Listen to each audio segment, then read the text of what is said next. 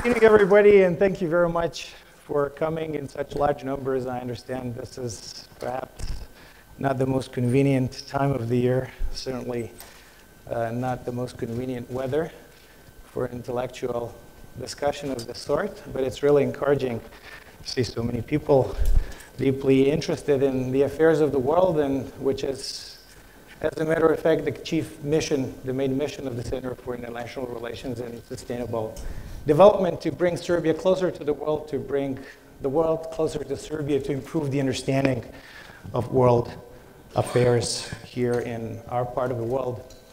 Uh, today's topic is uh, certainly amongst the most heated and uh, for sure the most complex and intricate uh, when it comes to world affairs and what is going on in the world. We will be talking about uh, the Middle East, the place uh, that was the historic bedrock of civilizations and the theater of their interaction and recurrent conflict the part of the world uh, which is occupying uh, a lot of international attention uh, in the past years. Uh, the 9 11 attacks, terrorist attacks in American soil, have brought to an abrupt end the illusions about the end of history. And in the past 15 or so years in the Middle East, we've seen unravelings and fluctuations of the highest order. We've seen foreign interventions, people's uprisings. We've seen implosion of Syria. We've seen uh, the tragedy of Libya. We've seen transformation of Turkey. We were also witnesses of a perhaps historic nuclear deal with Iran. We have seen rise of extremism and many other tumults.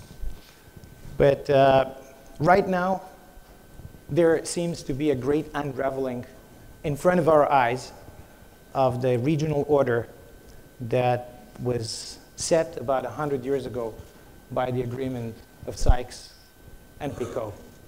And some of its important components are the feelings of dispossession on behalf of Sunni Arabs, whose perhaps most grotesque manifestation is the Islamic State.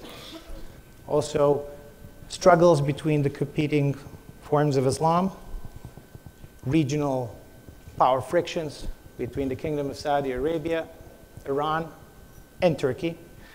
And last, but perhaps not least, the rivalry between America and the Russian Federation. Today's America's pronounced aims in the Middle East are to defeat terrorism, to roll back the growing influence of Iran, and to diminish America's direct engagement in the Middle East. Not everybody believes that these are fully consistent with each other. On the other hand, since 2015, we had a great comeback to the Middle Eastern scene of the Russian Federation for the first time since the Soviet era. Right now, there are few who can dispute that Russia plays an extremely important role in the region. Not everybody is fully thrilled about the role that Russia is playing, but few can argue that it is not a very, very important and strategic role. Today with us, we have two spectacular participants, spectacular experts. We're truly privileged to have them with us. The first is not a stranger in this neck of the woods. He did serve as ambassador of the United States to Serbia, after which uh, he continued with his career in the State Department, serving in ambassadorial point posts in uh, two uh, pretty tricky locations at strenuous times. One is Iraq and the other is Pakistan. Uh, he also had a distinguished academic career that uh, involves teaching at the University of California in Los Angeles, as well as Columbia Law School. He was also a fellow at the Harvard Kennedy School of government. He's currently the CEO and the president of the East West Institute of New York, one of America's foremost international policy think tanks. Ladies and gentlemen, please join me in welcoming to the stage Ambassador Cameron Munter.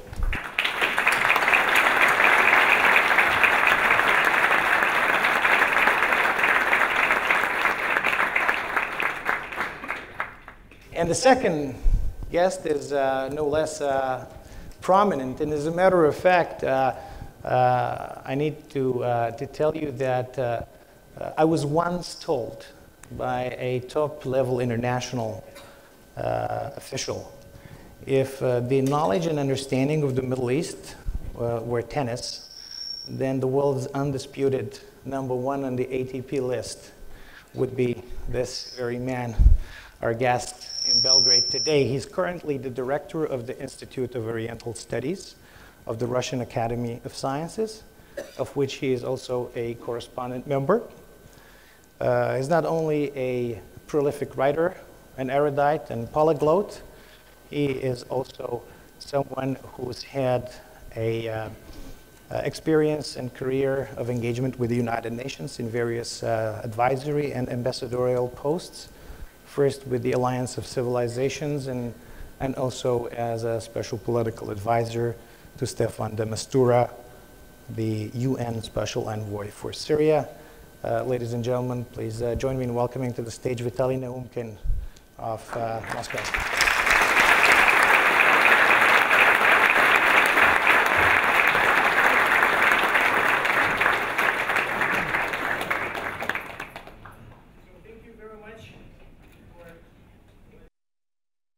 have this uh, probably lengthy introduction, but I do believe that uh, the prominence of our guests of today deserves such a lengthy introduction. We're going to try and uh, uh, have about uh, eight different sections with uh, eight questions each for, all, for both of our participants. I would kindly ask you to try to stick to a three uh, minutes rule. This may not be possible in certain, in certain parts, but uh, I would like also to have a chance uh, to, give, to give a chance to the audience to ask, uh, to ask some questions at the end. And uh, if you allow me, I'm going to start off by Iraq because uh, a lot of people believe that this was a development that led to many other developments which are feeling right now today. And uh, I'm going to start off uh, by asking Cameron, former American ambassador in Iraq, uh, why on earth did you do it? And what went wrong? Well, first, thank uh, uh, Vuk. I want to thank you, and I want to thank all of you for being here today. It's great to be able to discuss these kinds of issues with someone uh, who knows so much more about the Middle East than I do, so I hope I can get him to educate me a little bit. The one problem we see, of course, is that Vuk, ever acting as the non aligned movement, didn't wear the proper suit, right? We are aligned, Vuk is not. But the non aligned movement still lives. My point uh, that I'd like to make very briefly in the two and a half minutes that I have left on, on Iraq is that America uh, went into Iraq at a time of its highest self perception as the unilateral and unipolar power. And there was a belief uh, among many people, the so called neoconservatives uh, in the government of the United States, that they could remake the structure of the Middle East. That is, to re redesign the chessboard of, of uh, that part of the world and uh, make uh, difficult as this may sound, to, to encourage what had been seen in, say, Central and Eastern Europe in 1989, to see in Iraq a kind of a revolution that would un, un, unleash the powers of democracy in the Middle East. Now, in retrospect, it seems naive, but that is what these people thought. There were those people in the State Department uh, who were skeptical about this, but the political leadership of the United States was convinced not that this would turn into a, uh, a slog, but that rather the Americans would be welcomed with flowers uh, as the liberators and the, um, the people who would establish a, a Middle East state without the restrictions of dictatorship, etc. Um, and history has shown that that was wrong. But that is indeed what the American government thought. Uh, for those people who have a more conspiratorial view, and there are many, they say the Americans went in for oil. Well, we were the only people who ran an actual a, uh, uh, a tender for the oil when the Americans didn't win any oil fields. Uh, they people have said, well, they went in uh, for other reasons to take the side of one group or the other. In the long run, look, it's fair to say that uh, the influence of Iran uh, has done nothing but grow in Iraq after the American effort. So I guess the, the answer I would give to you, Vuk, on this is it uh, may seem difficult for people uh, who weren't around in Washington in the years 2001, 2002, 2003 to believe, but there was a belief that underneath the surface in Iraq, there was a democratic country seeking to arise, and that by taking away the dictatorship of Saddam Hussein, somehow this would create a, uh, a, a, a, center of, diplom- of uh, democracy in, the, in, in, uh, in Iraq. I think America has learned a lesson, a very painful lesson, a very uh, expensive lesson, but that is indeed what Americans thought at the time. Well, thank you very much, Cameron. Vitaly, do you buy this? What do you think? Why did America go into Iraq? First of all, sorry. First of all, I'd like to say that uh, it's a distinct privilege and great honor for me to speak to this distinguished audience and to have uh, to use the same tailor with Cameron. The only difference is our ties. This is this can be associated with the Republican Party, which is uh, symbolic for the present-day Russia, given what's happening in our relationship. But uh, I cannot buy it properly well. Uh, I think uh, even if we can imagine that they were some idealistic, uh, you know, ideas about uh, promoting democracy, which actually failed everywhere uh, the United States tried to make uh, regime change, which Russia is totally opposed to. Uh, but the question is there, what to do with these dictatorships? So I agree that probably Saddam Hussein was cruel, he was dictator. I remember when I had a meeting with, one of the meetings with uh, Mr. Henry Kissinger. Sorry, okay. I remember that one of the meetings, at one of the meetings was uh, Henry Kissinger, Kissinger uh, and we were discussing Libya those, uh, at that time, he told me, yes, uh, Gaddafi was son of a bitch, but at least he was, he managed to keep this country together.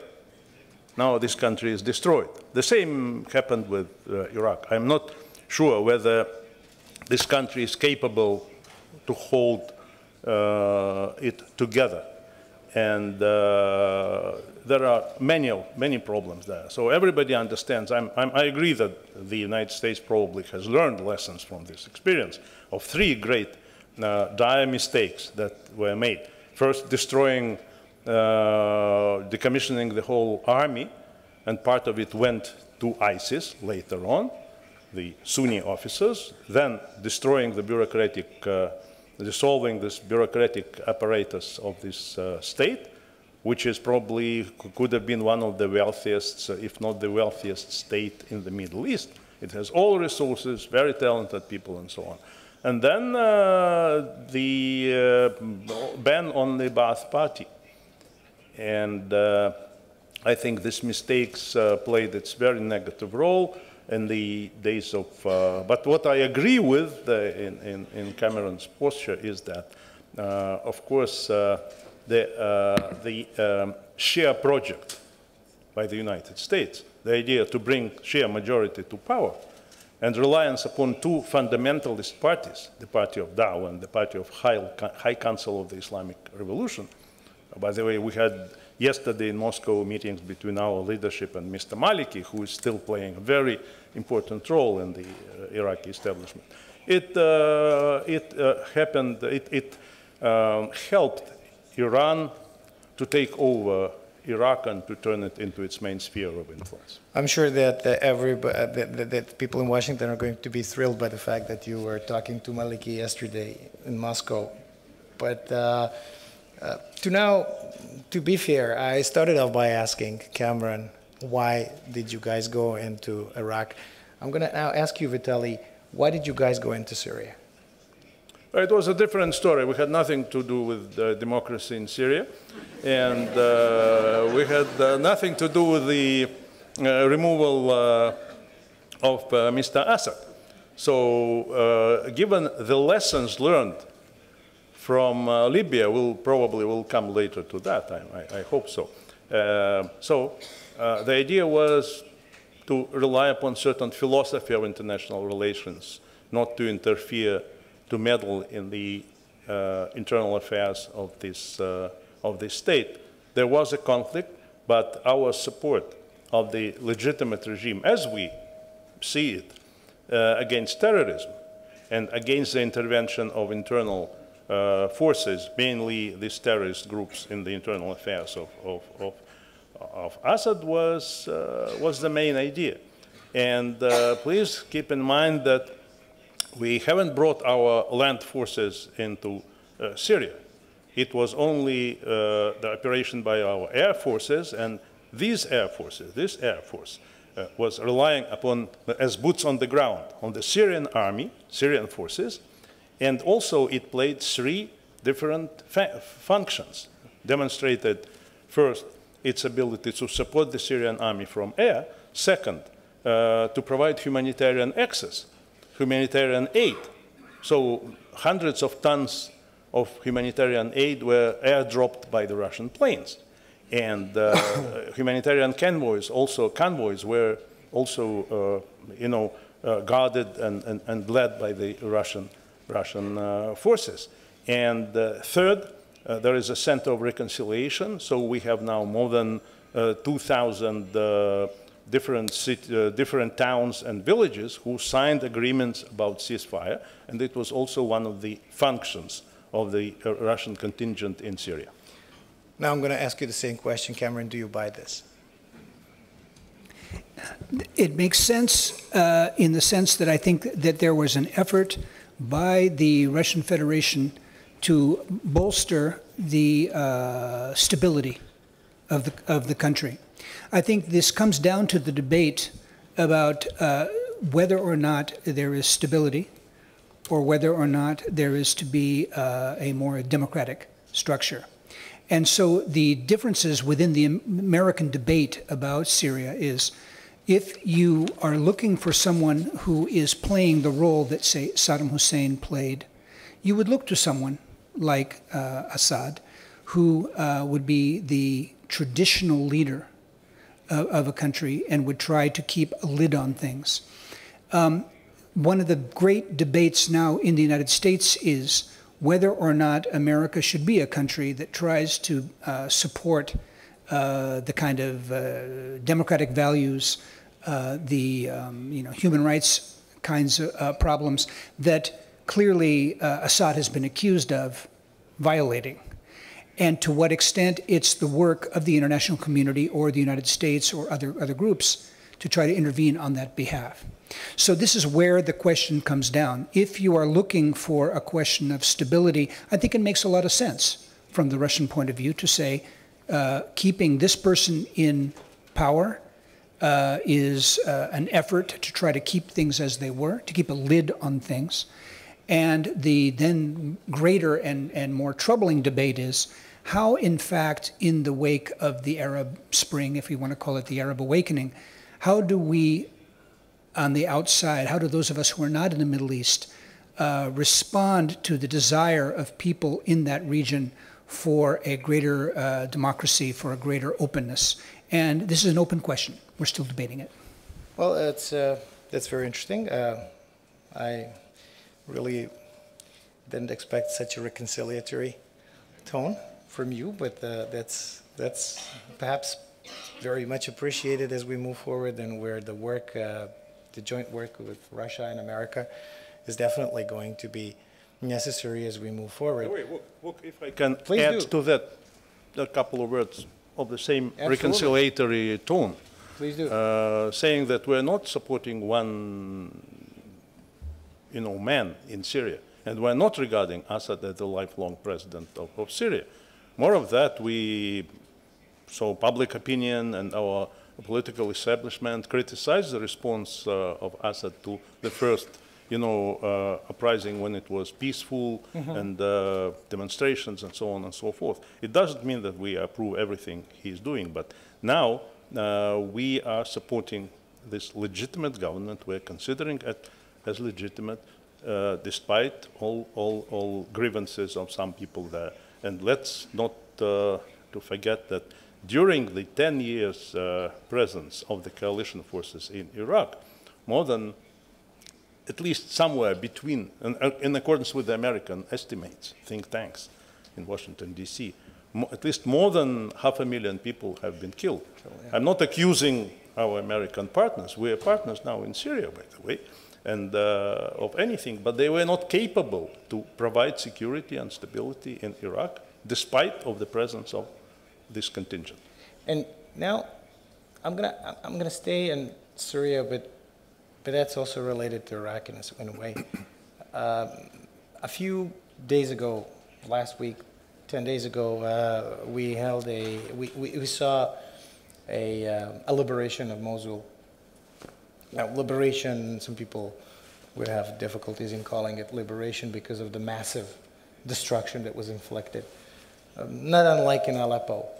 Uh, but anyway, the IS seems to have been perhaps not defeated, but deterritorialized in Iraq, and something similar seems to be on its way in Raqqa and Syria.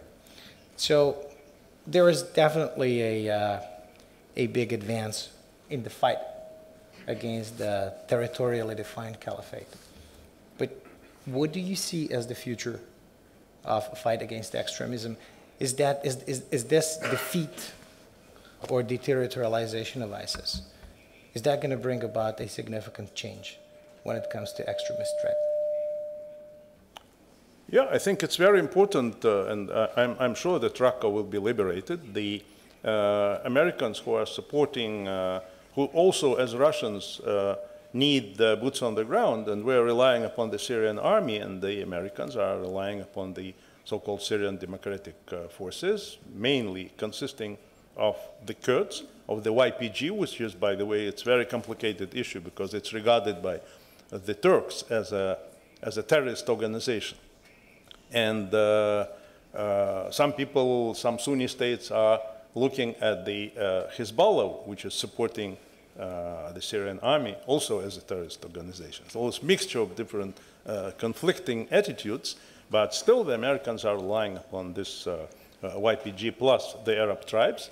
But the question is going to be what is going to happen with the people who have been members of, of the ISIS or who lived there. For instance, there are some, uh, you know, problems like what to do with all these children that have been brought there in this very violent and barbaric atmosphere. What to do with the people who are still sympathizing to, to ISIS? We still, we now in Russia, given what's happening there, it's on the brink of, of being defeated. These terrorist organizations. We still have people who are willing to go to Turkey and then to Syria to live there and to fight, to help ISIS. There are sympathizers everywhere in the world. The uh, ISIS is turning to the strategy of sleeping cells, of dissolving uh, in, uh, uh, among the tribes, and on, on, of uh, building more franchises all over the world. For instance, in the, in the Mindanao in the Philippines, recently uh, we found out that there were some Chechens, they have been sent uh, to terrorists uh, from, by, from ISIS to Mindanao, to the Philippines. What to do there? Do you think that there is a danger of uh, such cells being formed here in this part of the world? I think uh, nothing can be excluded, you know. We have to be aware of that. That's why we need cooperation. We need cooperation between the United States and Russia. We need cooperation between all players, including this part of the world, against this terrorist uh, extremist ideology, which is not dead, which hasn't been defeated yet. Do you agree, Cameron, that it wasn't that it wasn't actually defeated, and um despite these military victories in Mosul and the likely one coming in Raqqa, um, do you think that we can expect as a result of this uh, easing up of tensions in Europe or like less uh, threats of attacks? No, I very much agree that uh, the, the war is not at all over. Uh, if you see this strictly as a military operation, it's a success. But if you look at it as the way that, say, Clausewitz or someone would look at, at a question, you need to have a political goal, and the political goal would be to eliminate the basis under which ISIS gains international support. And that is still something that uh, the, um, uh, the countries, you know, Europe, Russia, America, other countries are trying to struggle with. And we, um, while it's a good thing to, uh, to eliminate the territorial uh, uh, kind of headquarters of ISIS, I very much agree that the, the fight is in many ways just begun. And the fight, for example, could be uh, uh, the demonstration to the people who might be drawn to a uh, radical ideology might be the generosity of countries like Europe, Russia, America coming together to rebuild Mosul, where I lived actually uh, as, as a diplomat. You were actually leading the first reconstruction team. I, I lived there and, and, and, and, and for a long time, and so it's tragic to me very personally for the destruction of the monuments that were there. Um, but to rebuild Aleppo, to rebuild Raqqa when this war is over, to show a certain amount of generosity, not just because it's a humanitarian catastrophe, but to show that the rest of the world cares about the suffering these people have gone through. If the world can show that, I think it'll go a long way towards undercutting the argument from the IS that the West, that the other countries don't care. And I think ideas of this sort, as Vitaly has said, if we can do them in tandem, we will be much better. I'm not sure that'll be possible. I hope it will. But it's going to be uh, a job not only for the military experts who are good at killing the bad guys, but it's got to be a job for the political experts to say, how do we demonstrate to the people of that region that we care about the suffering they've gone through and not leave them hopeless and looking to other solutions such as IS gives? So how about like, should we be scared in Europe or this is now a part? I think that Europe has to be very careful. Europe has to be on its guard, and this is going to be the case for a long time. for a long time. So before we move on to the next issue, just a quick and quick yes or no answer. If you had to bet today, in three years from now, uh, will Assad be the president of Syria? Yes or no? Uh, Why exactly three years? Probably even four, because because um, one of the options is that uh, Assad. I'm just speculating on that. There are different options put on the table.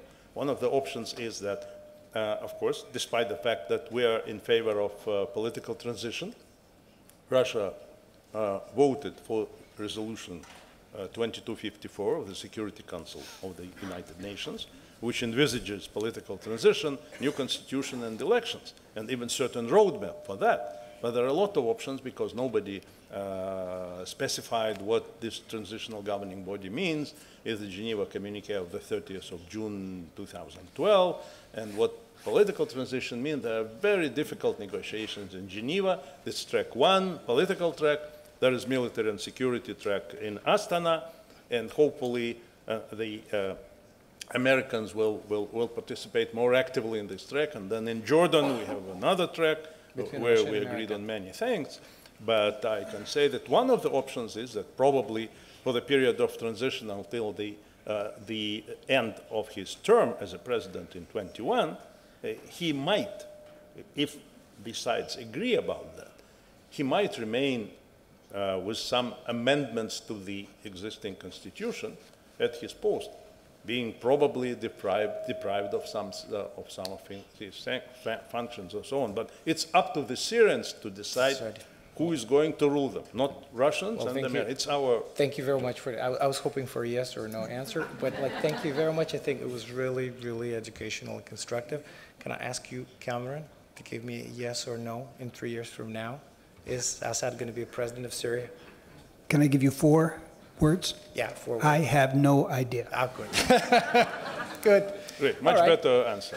Okay, so uh, a clear yes, and God knows, uh, it looks like he's going to be there, if you ask me. But uh, now let's go on to, uh, to the latest crisis, latest diplomatic crisis that, uh, that we had uh, unfold over the past uh, few weeks, uh, a month, actually. And this is the Gulf crisis between Qatar and uh, the group of Sunni Arab countries led by the Kingdom of, of Saudi Arabia. Uh, seems to be very tense. There doesn't seem to be any climb down in sight. Uh, in a place where a vast proportion of world oil is flowing towards world markets, and uh, Turkey sending troops there. America already has 10,000 troops in Qatar, if I'm not mistaken. Uh, so, what is behind this? Where did this come from? Why is this bitter division and diplomatic crisis between the uh, allies inside the Gulf Cooperation Council? I think there is uh, some uh, process, sorry, some process of, which is of global, of a global character, of some, uh, uh, you know, uh, collapse of the uh, global order we've been accustomed to. So there, the, all societies are now more divided, and there are more contradictions, more competition everywhere, and including the United States of America. What we see now in the United States is sort of very deep divisions within this very smooth and, you know, uh, uh, society, which is unusual for us to, to see. And in the Middle East, you know, we have a number of failed states. We have a number of uh, deeply divided societies, very fragmented, very high competition. And this organization, which is uh, Gulf Cooperation Council, uh, Council, is living through the period of, uh, if not collapse, but severe crisis. It's not the first crisis there, but it's mostly competition between the main players. Between, from the one hand, we have this boycott quartet, quartet which is Saudi Arabia, the Emirates, Bahrain, and, uh, and Egypt as well. Each of them have their own agendas. For instance, for Egypt, it's mainly confronting Muslim brothers. For the Emirates, it's the same, because the Muslim Brotherhood is regarded as the internal uh, threat for the Emirates, because they have penetrated into the tribes. Uh, no, nothing, uh, no, nowhere else But in the not Gulf. in Qatar? Why, why not? Qatar is Muslim supporting the Muslim Brotherhood. It's And the why? main supporter of the Muslim Brotherhood, on the one hand. On the other hand, uh, they try to establish good relations with the whole world. With, uh, they're diversifying relations with whoever, and including Iran, which is detrimental to the main agenda priority of Saudi Arabia to confront Iran, because the main, um, you know, collision is between Iran and, and, and Saudi Arabia there. Oh, by the way, Qatar, and we, we're in favor of, uh, we want reconciliation. We need good partner there. And uh, Russia is supporting the mediation of, by Kuwait, which, is, which can bring uh, fruits, in my view, and it could be solved because the, these contradictions are not as much deep. And uh, I can add to that that Qatar is one of the main investors in Russia. They have bought 17%. Rosneft. Rosneft, 17% of the shares.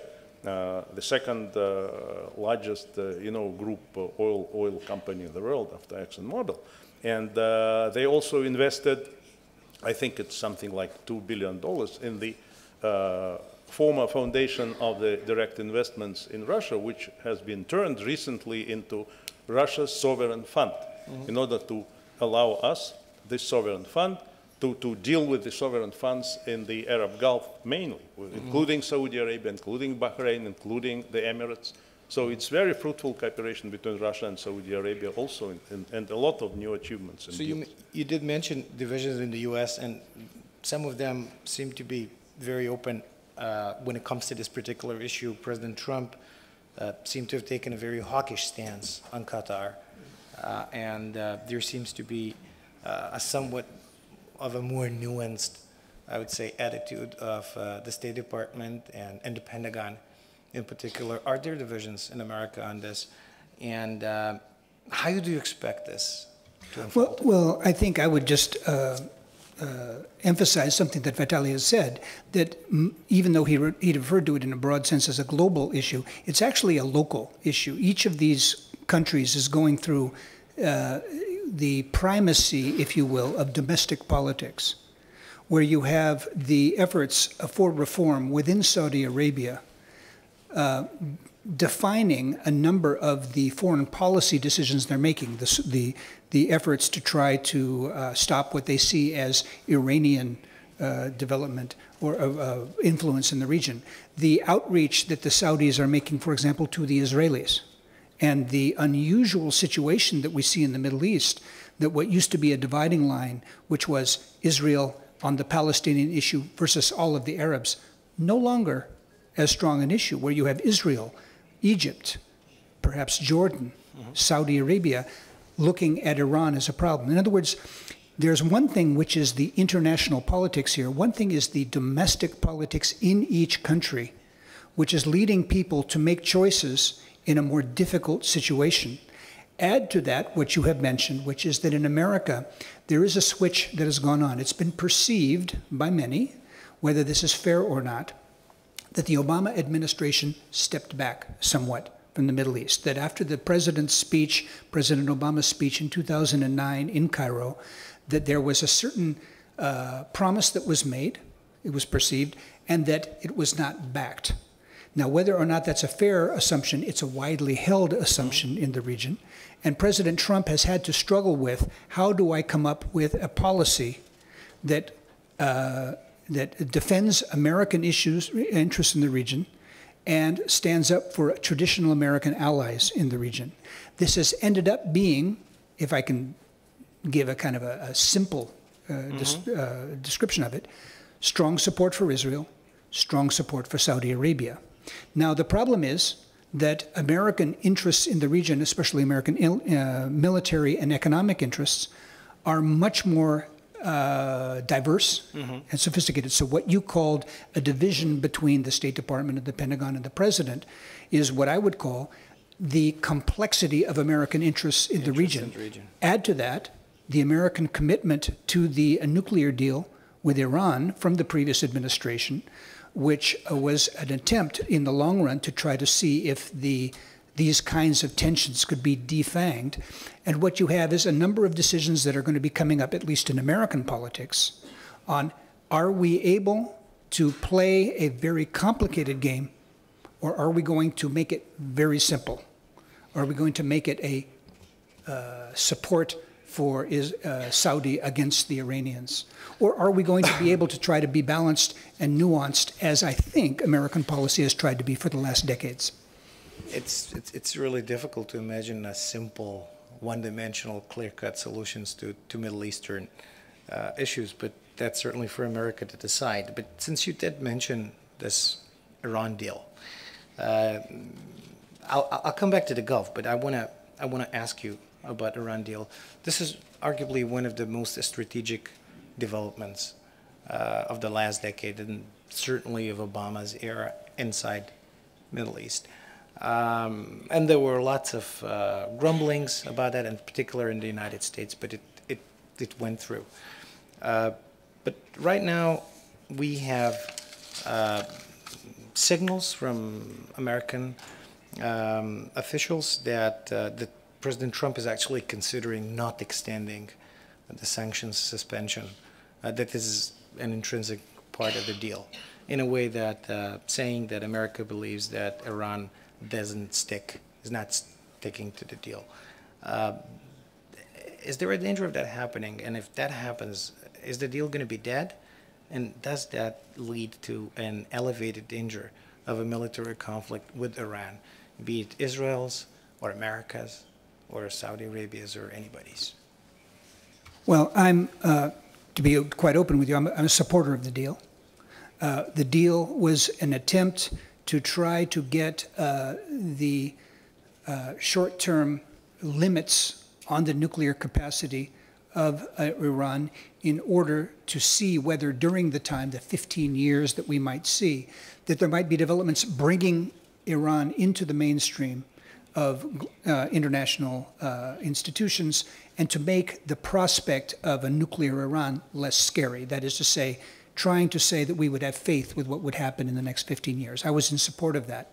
There is skepticism on the American side, and not only on the American side, about the ability of Iran to comply with the spirit as well as the letter of this agreement. That is to say, even though this agreement is about nuclear arms, there are other elements, other activities that the Iranians have engaged in that are not encouraging. That said, I'm not a diplomat anymore, but I would still support this agreement. Should the agreement be abrogated, and as you know, the Americans uh, just agreed, President Trump just agreed that yes, uh, the compliance is still good for the next 90 days. Yeah. Um, uh, should that continue, I'm optimistic that outreach to Iran is probably a good thing.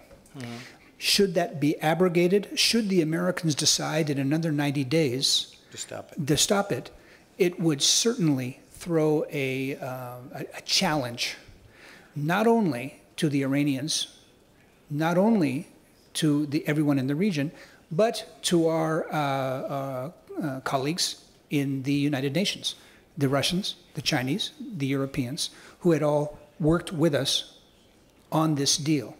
So it would not only be a challenge to the region, it would be a challenge at the international multilateral level to try to figure out what would be the next steps. And I can only say from my personal point of view, I'm very apprehensive if that were to happen. Uh, I- I'm going to stay with Iran, and uh, and I'm going to stay with this uh, very complex um, triangular relationship between Iran, Kingdom of Saudi Arabia, and Turkey, which is, I believe, the the best possible proof that uh, uh, in the Middle East, uh, what doesn't apply is that an enemy of your enemy is your friend. It's actually not necessarily a friend, and it could be like an even bitter an enemy. So this is a strategic triangle between Kingdom of Saudi Arabia, Iran, and Turkey.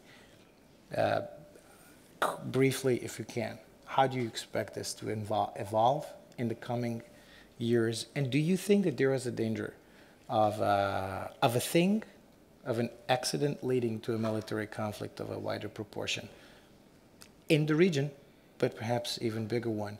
Uh, like uh, about 100 years ago, one such uh, trigger in the Balkans led to a much wider military conflict. Of course, such, uh, such danger exists. I think that I, uh, it's not uh, coming back, starting for, with- the, this nuclear deal, because it's important in, in, in this triangle as well, uh, that it's not a challenge, it's a disaster if, it, if it's going to, to collapse. And it'll be a very significant, uh, you know, uh, stroke, I would say danger also, and threat to the uh, ongoing uh, cooperation within the United Nations, PP, P5 plus one, and all other formats. You know, but coming to these triangles, there are, by the way, so many triangles in the Middle East that sometimes we are disoriented, you know, which triangle you, you actually you mean. It's one of those. But still, the main competition within this triangle between these giants which are there. By the way, the powers that have benefited from the so-called Arab Spring uh, are non-Arab states. So formally, there were three giants in the Arab world who were the most influential: Egypt, Syria, and Iraq. Now we have Israel, Iran, and Turkey who have benefited from that, and plus Saudi Arabia, who is trying to be, uh, you know, like a leader in the Arab and Islamic world. So there is competition between Saudi Arabia and Turkey, especially now, given that Turkey is supporting the Muslim Qatar. Brotherhood and Qatar. The mainly Muslim Brotherhood was regarded by many actors as a threat or as an enemy. And we have this uh, competition between Iran and Saudi Arabia of a sectarian character, but also political character, economic character, big competition of a military character, strategic one, especially given what's happening in, uh, for instance, in Yemen. Look uh, at this uh, poor country which It's a is suffering. state. Yes, it's, it's a Total no, disaster. well, and they, yes, it's real humanitarian disaster in, the, in accordance with the data in the United Nations. More than uh, uh, six million people are doomed, you know, are, can, can die from, from hunger. cholera. By the end of this year, there, will, there would be uh, like 600,000 cases of cholera infected people, you know, and nobody cares about that, by the way. Everybody is, is, is, is, is thinking on, in, in very limited terms, more uh, on, on the Syrian conflict, but not in Yemen. But it's very important for the fate of this triangle, in, general, the situation in the Middle East, especially because Saudi Arabia is deeply involved in this uh, inter-Yemeni conflict. And um, you you did mention Yemen, and this is one of the most difficult situations perhaps in the whole world right now. Uh, but you did mention Libya earlier on, and uh, it is also one of the states that have all but disappeared in front of our eyes after a military intervention, uh, international military intervention. Uh, I want to ask you, why did Russia let it happen in the Security Council? Why did Russia not oppose Libya intervention like it did oppose 2003 Iraq intervention and later on in several instances uh, an intervention in Syria? It was a mistake. It, it was a mistake, a clear-cut mistake. Uh, the public opinion in Russia was against this decision, but there was some, uh, you know, hope that uh, there would be uh, just uh, compliance with the format, with the mandate of this resolution, which was violated by the international, by our Western uh, partners, who violated uh, or, or uh, crossed the limits of this uh, international mandate of the resolution 1973 uh, with the direct intervention there. And we know what happened. We have now three governments competing with, with, each other. We have uh, uh, uh, just smuggling of arms and, and, drugs and everything. We have a lot of terrorist groups. And, and Libya is in a very difficult shape.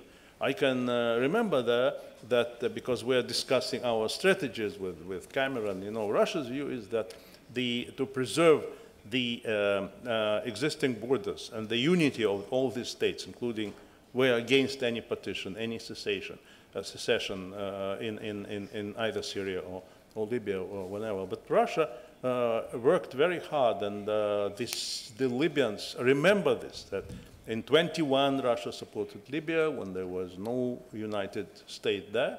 In uh, 1950, then the Soviet Union proposed uh, a resolution to the General Assembly to unite three parts of the present-day Syria, Fezzan, Cyrenaica, and Tripolitania, which was uh, against the will of uh, uh, Britain and, and, France. Britain wanted independent Cyrenaica, France wanted Fezzan to, taken, to be taken over by, by France. And only and the, Syri the Libyans remember this. They, they owe their independence and their unitary state to us. Now it's being uh, collapsed, and that's very sad.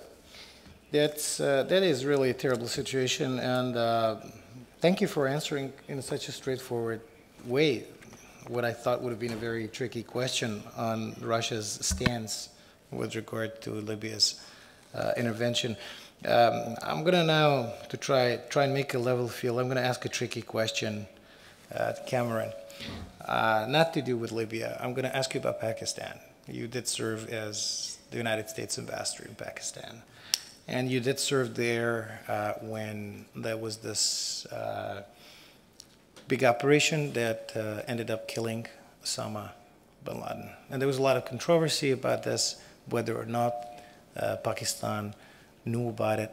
Uh, quite frankly, did they know about it? And if they did not know about it, why was this the case? Big set of questions. Um, I'm convinced the Pakistanis did not know that Osama bin Laden was in Abbottabad. Um, there is, uh, in many parts of the world, uh, because of the absence of uh, information, there's a tendency to believe the most clever conspiracy theory that you can come across. And there are a number of them. Uh, some of them have spread to the United States. Even Seymour Hersh, the very well known American journalist, has contributed to that, and uh, he's just wrong. He, he, the kind of issues that he talks about in, in the articles that he writes, I think, are, are specious and, and, and incorrect. Um, the Americans didn't tell, the, the Americans, we, didn't tell our Pakistani colleagues because of our concerns that the news would leak. We didn't tell them, but, but we had no evidence through the time of the raid and afterwards. And any of the information that we got, you know that we picked up an enormous amount of information from the house in Abbottabad after the time of the raid. There was no evidence in that uh, uh, intelligence, in, in that information, that anybody in the government knew. So even though it seems to strain credibility that a, a man could live for years within a mile of the Pakistani equivalent of West Point without being noticed, there is no evidence that that happened. And uh, uh, so the, the problem is that the Pakistanis have to deal with the fact are they incompetent or are they complicit? In fact, they were not competent. They didn't know he was there. He was there. Um, what this means in the long run is that either way, the Pakistanis will be humiliated by what the Americans did. And when you're ambassador to a foreign country, you don't want to humiliate people. But that is what happened in that case. Did you know about the operation? Sure. Yeah. Cool. So, uh, One word. I'm going to now uh, try and uh, wrap up with uh, two more sets of questions. One, I think, is really an inevitable question uh, about Israel and Palestine and about the peace process. And this is something that has uh, been with us since basically the onset of the UN era, since the aftermath of the Second World War. But it, uh, it has never seemed more distant, and it had never seemed, sadly, in my opinion, re less relevant than it is right now. Uh, so, Cameron, do you think that we are going to have an independent state of Palestine in our lifetime, if you were to make a bet? And you already bought, you already used your uh, card of saying I don't know once, so you gotta give me an answer. Okay, then I'll say yes.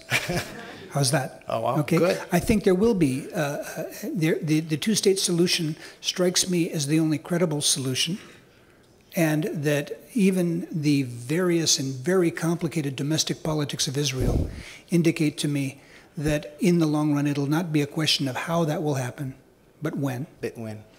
Now, the issue that comes up that makes it much more difficult is that it was always understood, as I mentioned earlier, that there would be a solid front of Arab states against Israel, and that is now breaking down. In, say, the changing set of problems, Saudi, Iran, the role of Turkey, these very complicated questions you raised, it's no longer the case that the Palestinian cause is the key thing defining, say, the uh, relation of Saudi Arabia to Israel. It's no longer the key thing defining Egypt's relation to Israel. And so there's going to have to be a new and fresh way to look at this issue that many of the efforts, many of them American, whether it's Bill Clinton, Henry Kissinger, you name it, through the years, that traditional way of looking at the solution probably is not going to work.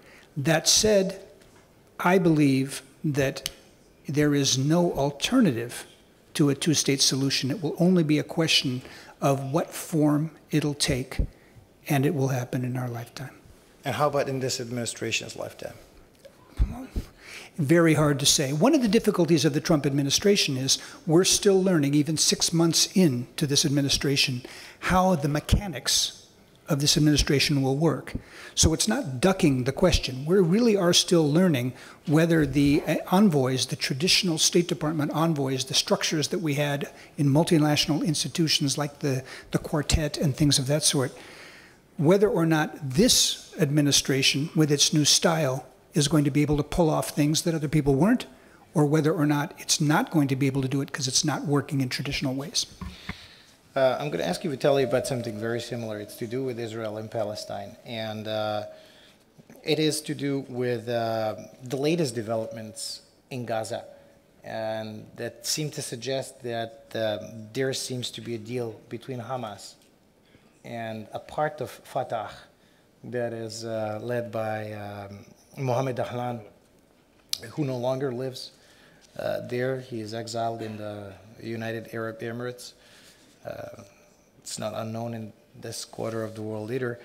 But uh, did you hear about the claims saying that there actually may be uh, an independent state of Palestine in our lifetime and relatively soon, but the first president of Palestine is going to be Mohammed Dahlan?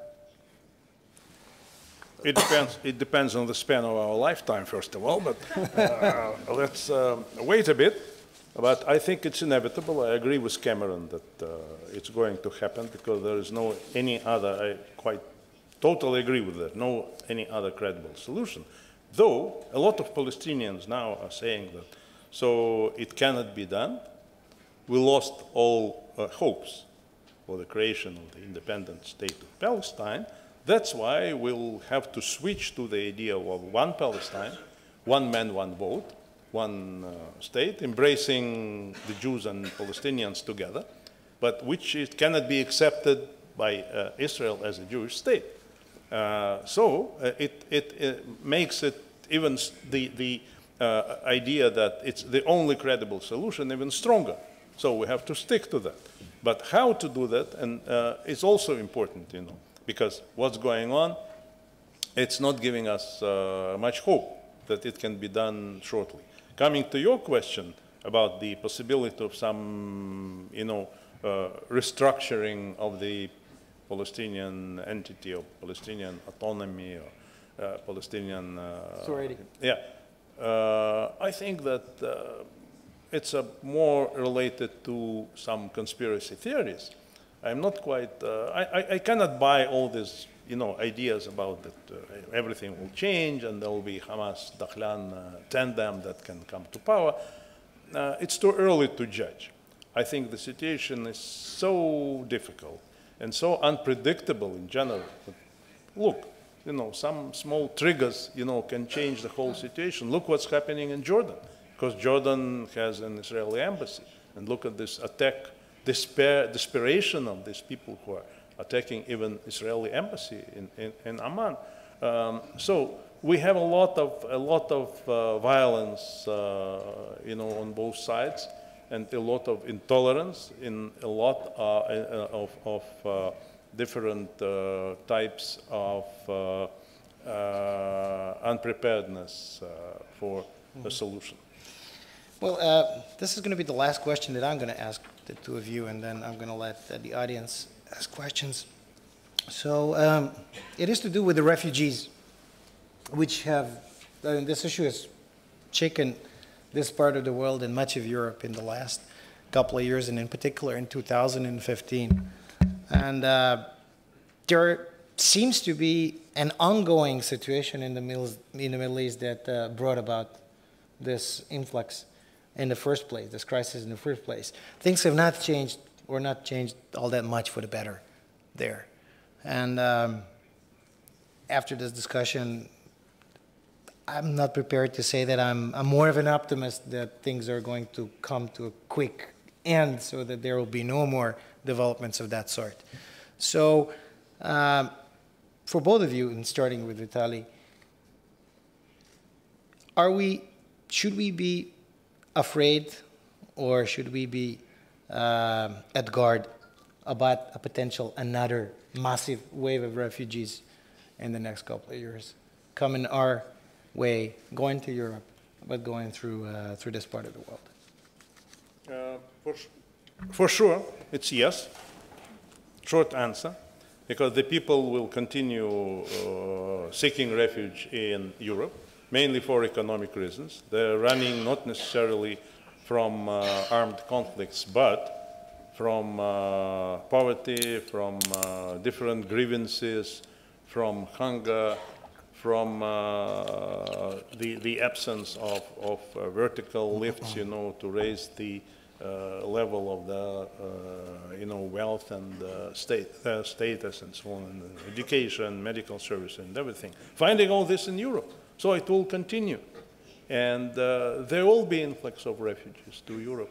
It's, uh, I think, a, a permanent uh, feature of the uh, present-day globalization. We cannot stop it. You can uh, undertake certain measures to restrict it, uh, but not, but to stop it is impossible. And what do you think, Cameron? What about the same question to you?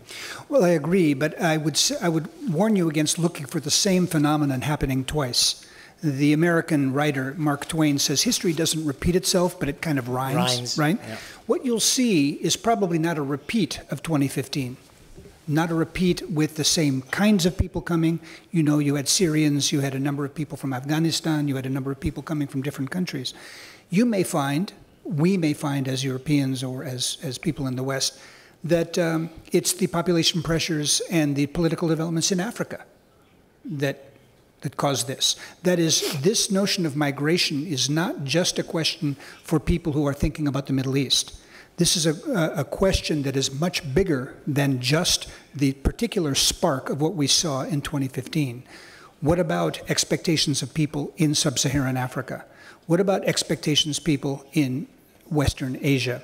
So, yes, the problem will be there, and having gone through it once, the mechanisms that Europe uses to try to deal with it will also be changed. So, the answer is yes, it will happen, but it may not be recognizable in the same way. It won't happen in the same way, it may not be the same people, and the response may not be at all what you've seen in the So it could past. be different, but that means both could be better or worse. I would just say different. Different. You know? Well, uh, Look, may, may I add a couple Sure. of words to that? I think that it's very important to work together uh, on the issue of reconstruction of these devastated areas in the Middle East, because it's encouraging uh, this, uh, you know, heavy migration from these uh, territories, especially now Syria and, and everywhere, Libya, Iraq, everywhere, and Yemen, for God's sake. And uh, I think that, uh, to, to, in, in, to, to put it very shortly, so you know, Russia is al- already working on the reconstruction of Aleppo, and we're investing a lot of money in trying to bring normal life to Aleppo.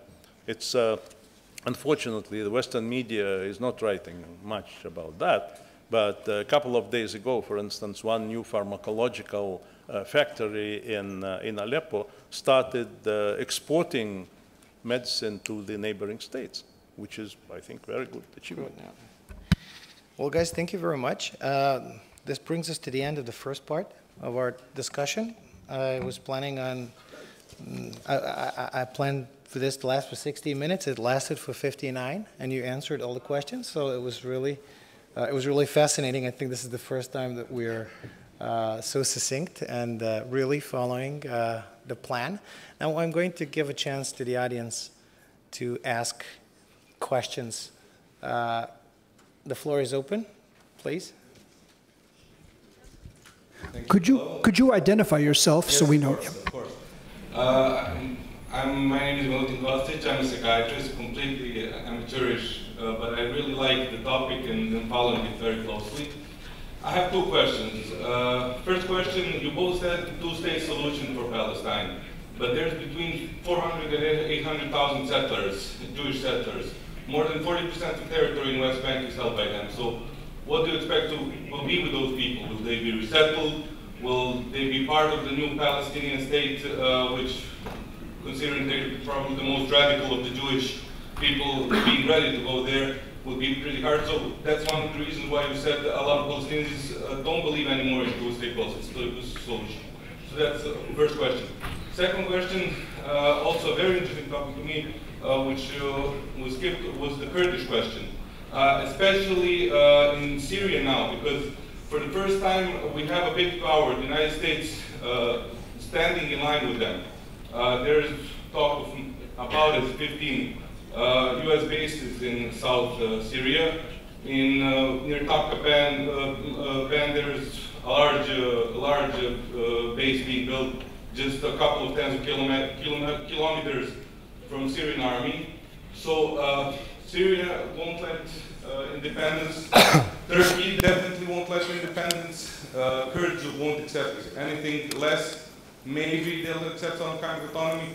But now uh, the United States is in a very peculiar position where uh, sooner or later ISIS will be gone in a year or two. And this leads a very, very complex situation here. Uh, if the if United States leaves them to makes a deal with Russia, makes a deal with Turkey even more, uh, and leaves them behind, then we we can expect that no other uh, faction will in any other small war will, will stand with the, United States because they don't know what happened to the Kurds. And if they don't, then they risk a conflict with Turkey. Thank So you. these are the two questions Thank you. I'm gonna, I'm gonna suggest, correct me, uh, I'm gonna suggest that the second question to do with Kurds and the United States is answered by Cameron, and the first one about uh, uh, the uh, Jewish settlers is answered by Vitaly. Would you, do you agree, guys? Whatever you say, Vuk. Cool. So I'm going to start off by uh, Vitaly and uh, two-state solution and the fact that the Jewish settlers are, in a way, they are uh, scattered throughout the territory in increasingly large numbers. It's a very good question. We remember how difficult it was for, for Israel to evacuate uh, settlers from Gaza. So I totally agree that to make it with the, uh, this uh, huge uh, amount of people, uh, of some of them very radical, not willing to quit, uh, is, will be extremely difficult. Needs a lot of political will, a lot of money, a lot of creativity.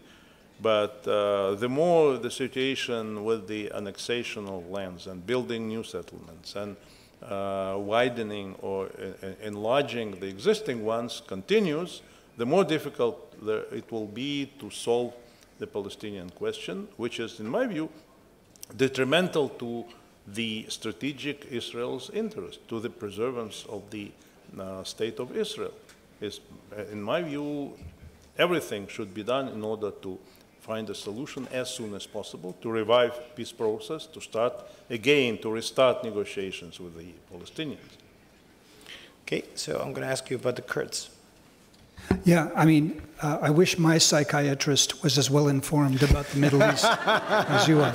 Um, no, look, uh, those of you, you know, you know, I think about the Kurds that uh, it is not a community; it is many communities. And one of the things that makes the solution for Kurdistan or a Kurdish identity or what the future of that region is, is that the different groups have enormous difficulty agreeing with one another. You can talk to the KDP, you can talk to the PUK, you can talk to the YPG, you can talk to these different groups. And at the very beginning, it's very hard to find a core of people who agree on what a Kurdish state would be. That's one thing. The second thing is the point you made. You have Kurds in Iran. You have Kurds in Turkey. You have Kurds in the KRG in Iraq. You have Kurds in Syria. So you have all of those countries to varying degrees of their own ability to rule what goes on in their own countries and what we would call the territorial integrity of their countries, who would have to agree. So it's a very scattershot kind of problem. There's enormous sympathy in America for the plight of the Kurds. And there is a tendency to try, in many cases, say in an op ed in a uh, an American newspaper, to try to talk about the Kurds and how the Kurds deserve their homeland as they were promised by Winston Churchill in what, 1922 or whatever it was. You know, um, but this is an extraordinarily complex problem. And so I think it, the best way to think about it is to try to think about the discrete issues of, say, energy policy or the fight against ISIS or the question of the future of Turkey and to see the Kurds in those problems rather than to say, here is a Kurdish problem from which everything else emanates. Because if you see this as a Kurdish problem from which everyone else emanates, what I see kind of intellectually is you simply create problems and make it more and more difficult for anyone to come to any kind of agreement about the future of Kurdistan. So I think that the wisdom of many Kurdish leaders is to try to say, where do the Kurds come down on a series of issues in the region? And in the long run, if indeed these problems can be solved, the violence, the uh, interethnic problems, the economic problems, that gives a possibility of people to come together and say, what do we do about Kurdistan? But it's a very thorny problem, a hugely difficult one, and often not helped by people who try to make it simpler than it is. It's a very, very thorough answer, and this is, I believe, one of the trickiest, I would say, aspects of this uh, of this equation, and especially we haven't had a chance to talk about Turkey and Turkey's transformation over the past decade. But I'm going to ask you a trick question, and please do not get into explanation unless you really have to. Uh, If you were to take a bet about who is going, out of these three, who is going to join the United Nations first? The state of Kurdistan, Palestine, or Kosovo? Who would you pick? Kosovo. Palestine. Kosovo, Palestine. Okay, we are going to write down these answers, and since we're going to have uh, Cameron and Vitaly in the many years to come in Belgrade, we'll see who was right. Now, let's go on. Sir,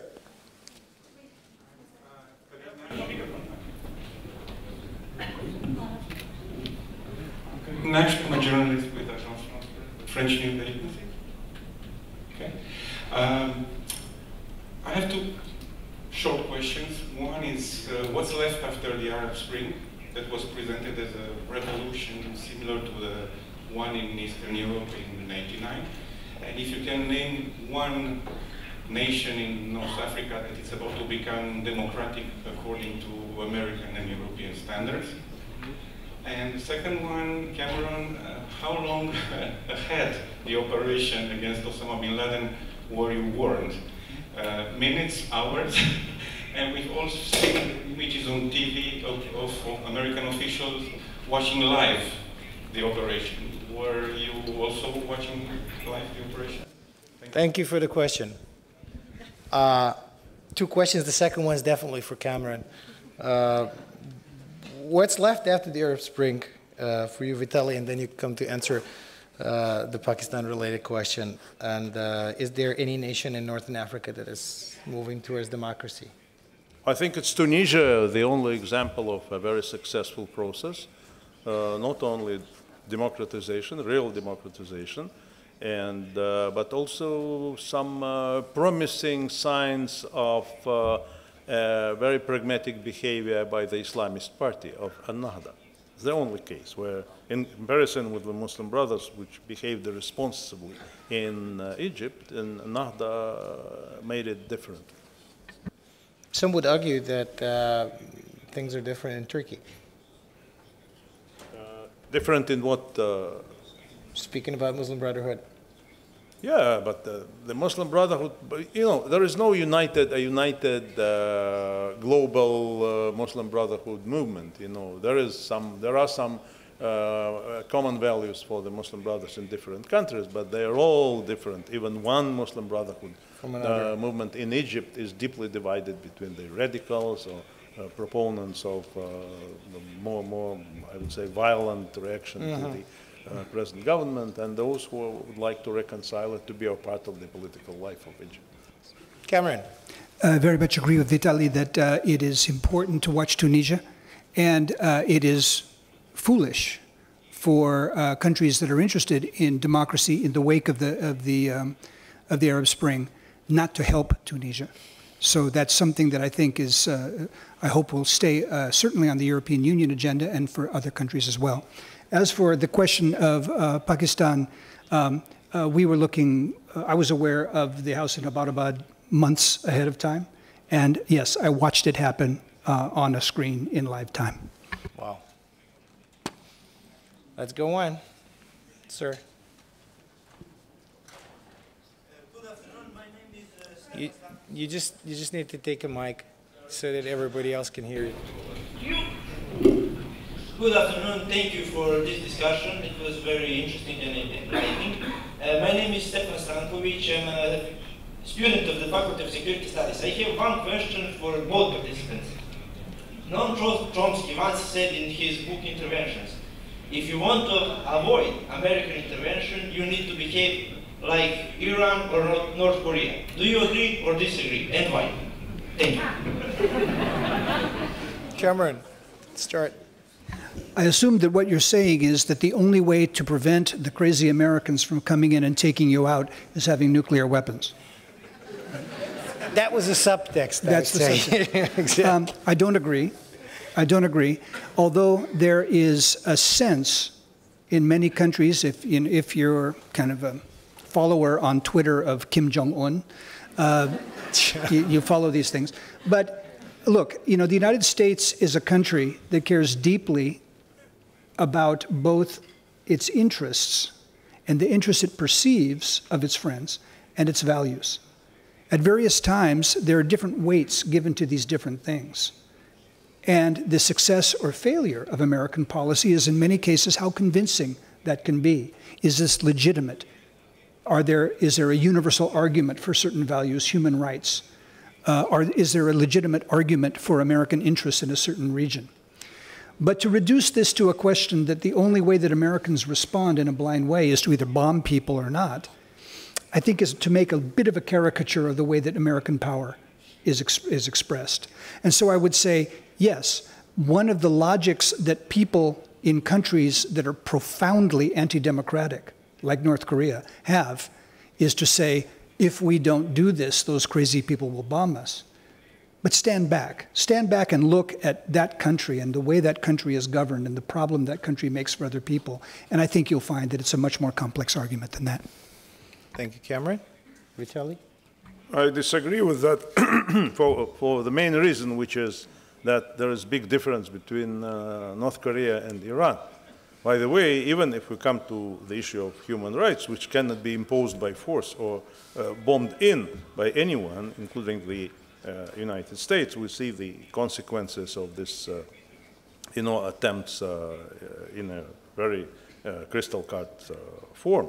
But still, in, in Iran, we have strong elements of democracy. Of course, it's not the Western type of democracy, but there is a, it's a pluralist state. There is a real struggle between different political parties, between different uh, forces, groups, of course, within certain limits. But still, I, I, think it's a sort of, uh, uh, of a sort of democracy in, in Iran. At least when uh, I am reading uh, the Iranian newspapers, I enjoy it. I enjoy it. As there's a lot of freedoms in this country and uh, a lot of pluralist, uh, you know, models of this Islamic type. And uh, if we compare between this system and some of the countries in the same region, in the Middle in the Middle East, that it's so if Iran you, is much in a better shape. So if you, if you, if you if you take on aside Tunisia, which we both which we all mentioned here, is a, is a good example that needs to be upheld, and if you don't take into account Israel, which is uh, arguably uh, functioning democracy. Uh, what about Lebanon, by the way? I'm asking you, is Iran the most democratic country in the Middle East, in your opinion, Vitaly? Iran? Iran. You take out Tunisia, Israel, yeah. and you also take out Lebanon. It's a very specific case. You may elaborate on it if you would like. But like, uh, which are the countries that are, in your opinion, more democratic than Iran right now in the Middle East? In the Middle East, uh, it's very difficult to judge, I just say, because uh, we need some uh, very deep, long-term research work done, uh, but, but, maybe not leading us anywhere, because uh, the countries, uh, the regimes are as they are. You know, there are different models that are uh, that uh, that remain there for decades. Uh, of course, they will undergo certain transformation because there is some process of uh, globalization. There are some values that are being, of course, brought by international experience and by uh, the whole international community. But still, my judgment is that we have to to pay full respect to the models of, of some uh, of different uh, of states. Each and every, uh, yeah, of yeah. each and every regardless state. of whether they they uh, they correspond to these uh, eternal values, which mm. Uh, they can come to later. Probably. What do you say to this, Cameron? I like his question better than yours. okay, good. So, uh, lady over there. Kaže pitanje pod broj jedan Vuku Jeremiću, i, ali i ostalim učesnicima kao i svim ljudima na, na ovome svetu. Zbog čega je umanjena prosto nevidljiva uloga Ujedinjenih nacija u tim kriznim područjima, u svim uh, mogućnostima i načinima da se, da se ovaj, prebrode te, ti konflikti, uh, kao što znamo da je bilo u prošlom veku, razdvajanje sa instaliranjem e, snaga Ujedinih nacija, razoružanjem, raznim komisijama i e, jednostavno e, zaštitom ljudskih prava po međunarodnoj konvenciji. Okay, so I'm going to let, out of politeness, my friends to answer first, and I'm going to answer, and I'm going to answer last. Well, I'll begin by saying only one of us has tried to be Secretary General of the UN. okay. Unless there's something I don't know. um, I, I, I would gently disagree with kind of the premise of the question. My understanding of the UN is that it's not an organization that goes out and actually engages in conflict.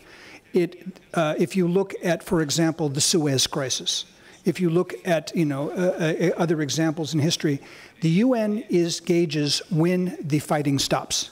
The UN doesn't have an army. The UN is not, in that sense, a, an action organization. It's an organization, however, that is meant to sustain a peaceful agreement if that can be brokered. So the reason that we don't have the UN on the front lines stopping uh, conflict is that, in my opinion, that's really never been the UN's role. The UN, however, is the correct place to go to try to find uh, consensus among states once an agreement is found to try to say, how do we keep this the way it's supposed to be? Vitaly?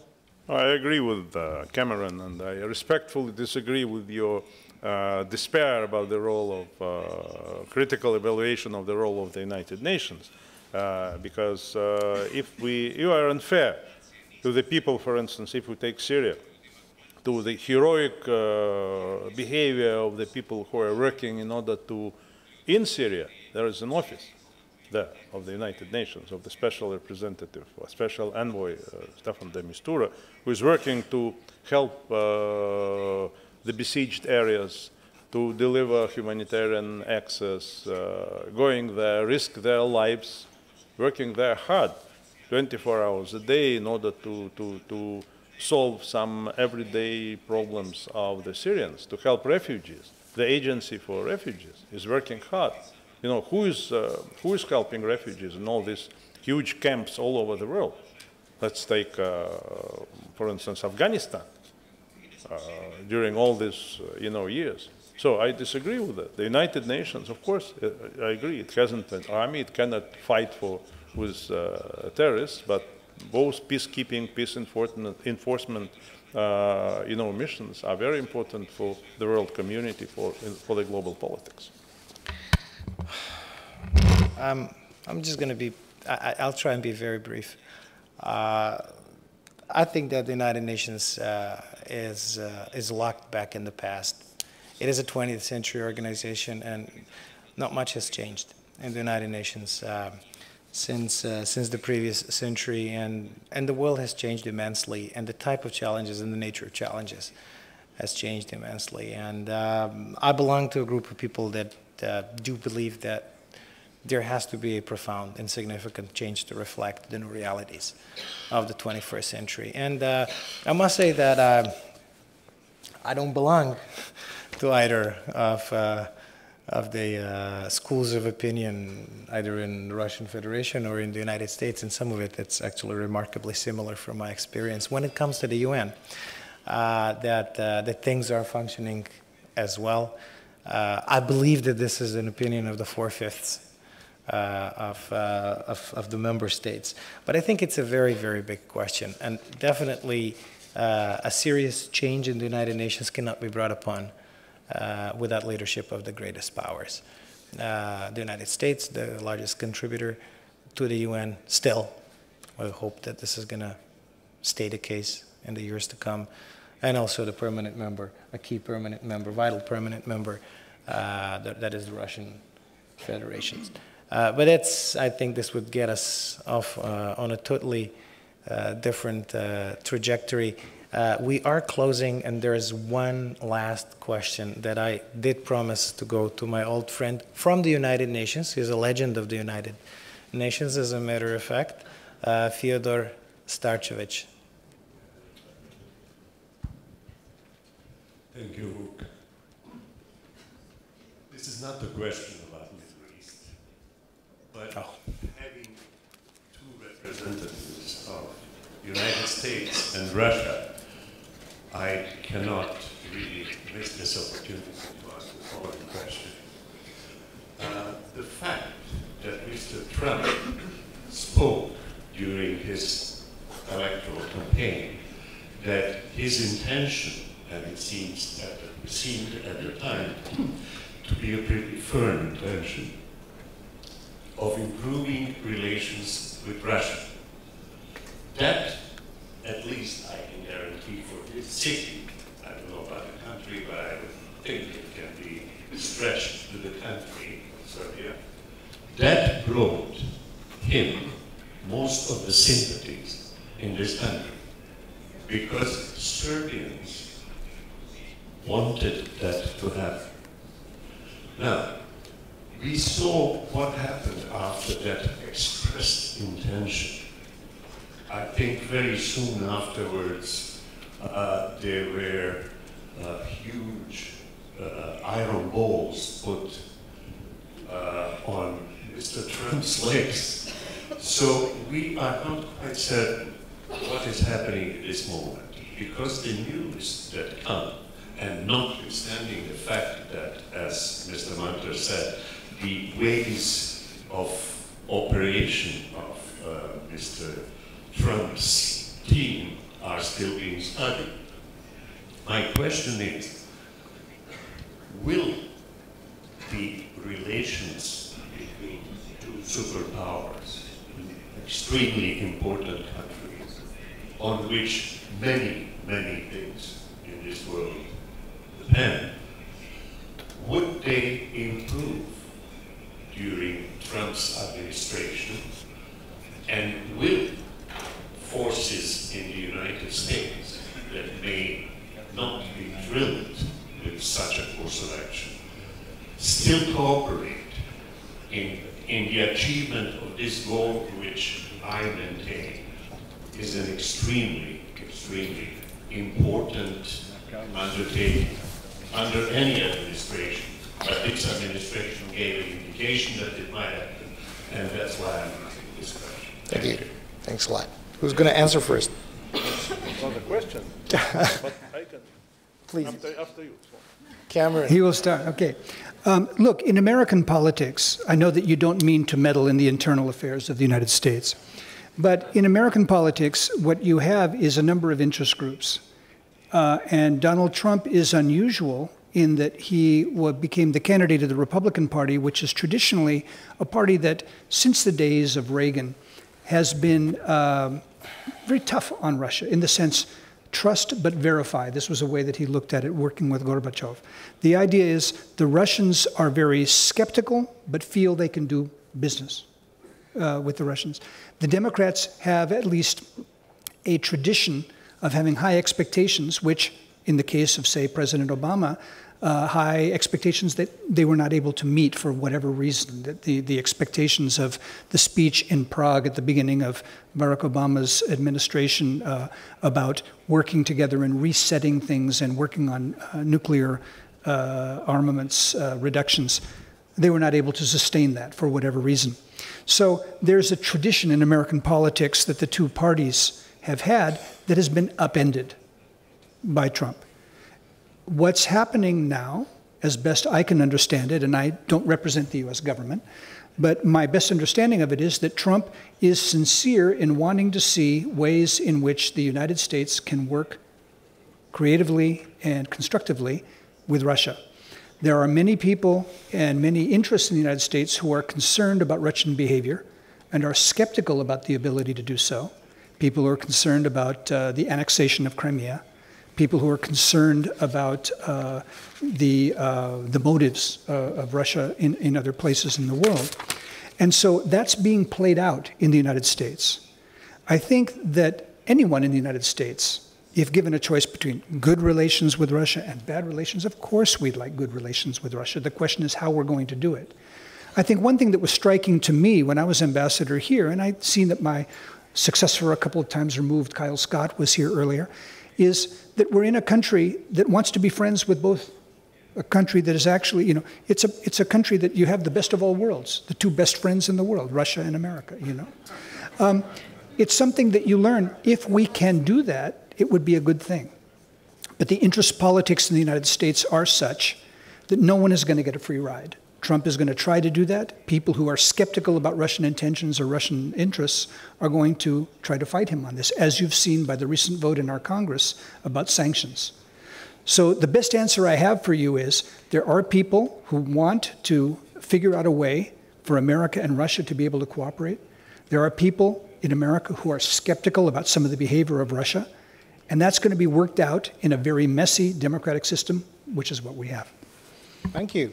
Vitaly, the closing word about Yeah, America and I, Russia. I'm afraid that uh, the Russian-American relationship is a hostage to the internal struggle within the United States. And the Russian factor is used against Mr. Trump by his opponents, which is very sad. And uh, for us, it's funny when Russia is accused of uh, hacking uh, or listening to the some institutions in the United States trying to intervene. You know, is the United States some some of my students? I'm I am I'm, I'm from time to time also delivering lectures to students. Students ask, are our if there are any Russian hackers, are they so capable as to uh, penetrate into all these you know systems and uh, to influence the American elections? You know, it's it, it's it's it is it is funny, but I understand the Americans. You know, because having uh, having uh, been uh, intervening everywhere, all over the world, everywhere, replacing presidents, prime ministers, regime change, and uh, Italy, you know, Guatemala, you know, all these cases. Suddenly there are rumors that some Russian hacker came to the United States and uh, tried to, to have some influence in the internal, uh, you know, and it's, uh, but it's funny. It's funny. And about the Crimea, there are, of course, there are clear-cut uh, double standards. Look at Kosovo and look at the Crimea. We don't care about who is saying what about the Crimea. It's a part of Russian territory. And uh, uh, I'm deeply thankful to the West, which has helped us to realize our uh, old dream of bringing Crimea back to the Russia. Because as Putin said at the meeting of the Valdai Club, so uh, without this coup d'etat in, in, in Ukraine and replacing uh, the legitimate government of Mr. Yanukovych, uh, Putin said, I, I, I, hadn't been thinking about the, uh, this annexation of the Crimea. So I think you know, who, is, who has to blame for that? Now the, the question is over. It would have never be discussed and put under discussion with whatever country in the world. Now, I, I, I wanted to call a break here, but I feel I got to give a floor to Cameron once more if he wants to, to answer any of this, I would say, very powerful arguments. Look, there are times, you, you, can tell from the discussion we've had, I've known Vitaly and respected him for a long time. There are times when honest people do disagree. There is room for many appearances. Yeah, there are many, many room for many disappearances. It's not the American uh, it's not the American understanding of what happened in Ukraine that it was a coup d'etat. It was an understanding of what happened on the streets of Kiev when the uh, opportunity to grow closer to the EU was stymied by the government, that the people in the country threw him out. Russians may not believe that. Honest people can disagree. So that this question of, you know, how and how this worked in Ukraine, or why the American position on Kosovo may differ from the Russian position of Kosovo. Honest people may disagree, and often do, right? I can only say that in the United States, there is a wide open debate on this. A free media, uh, a very open parliamentary debate, very serious discussion among people. And this is why I thank Vuk for what we're doing here today. That kind of debate is what you need about these kinds of issues. Because these are serious issues. Those people like me, who consider themselves friends of Serbia, friends of Russia even, have to agree that sometimes we're going to see it differently. And I can only say that I hope that the civility of political discourse, not only in domestic policies, but in international politics, remains that way. Sometimes we're not going to agree. Thank you very, very much. I would like to, uh, to thank you uh, at this stage. I want to thank everybody at this note. I know that there are several questions that remain unanswered, but we do are going to have a cocktail. So, uh, but I have to, to call it a day. We're now beyond, uh, beyond time. Uh, they say that every good discussion on the Middle East uh, has to leave you more confused than at the beginning. So I hope you are more confused about issues related to the Middle East. I hope you are you feel better informed about uh, about the state of affairs in the world. I want to wholeheartedly thank uh, Cameron and Vitaly. It was a true uh, privilege to have you uh, guys with us in Belgrade. We are going to continue with. Uh, with our activities as a think tank. in September, there is going to be a new issue of Horizons, our flagship uh, magazine. Cameron was a contributor and a writer. Vitaly is going to be in one of the future issues. Uh, we are going to try and continue bringing Serbia closer to the world and the understanding of the world closer to Serbia. Thank you guys very much. It was a pleasure.